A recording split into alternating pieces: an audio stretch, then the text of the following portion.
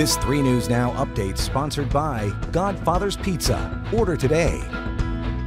I'm Kent Lutzen with 3 News Now. Here's a look at what's happening. Students in Iowa's largest school district will be back in the classroom eventually. The Des Moines Public School Board has voted on a plan to transition from remote lessons to in-class learning. It comes after weeks of being at odds with Iowa's governor for adopting distance learning.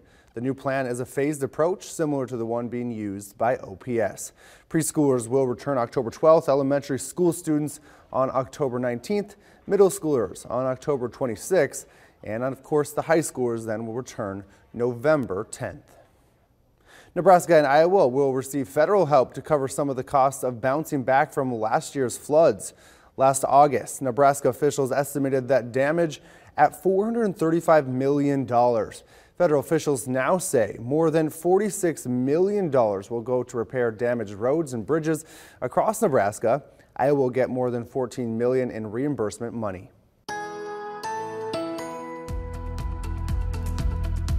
And on 3 News Now, Chief Meteorologist Mark Stitz. It's going to be windy and cooler the rest of the day, only hitting near 60 for the afternoon, even with a lot of sunshine. Overnight tonight, the winds lighten up and under mostly clear skies, we rapidly cool off. We could drop to 37 here in Omaha, and that's cold enough to see frost in some areas. So before bed tonight, make sure you're protecting any sensitive plants that are still outside. Friday afternoon, keeping it very cool, highs near 62 with a lot of sunshine and lighter winds should make it feel at least a little bit better. And then late Friday Friday night into Saturday morning. A couple spotty showers to dodge, but that rain not going to be for everyone. We dry things out Saturday afternoon, but staying cool near 60.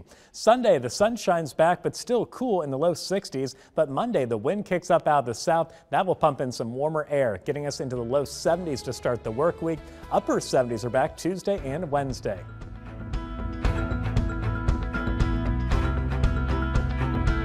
Godfather's Pizza's Autumn Feast, a medium specialty pizza, your choice, a medium pepperoni pizza, and my new caramel apple streusel with Twix candy pieces. Get your Autumn Feast today. Godfather's Pizza. Do it.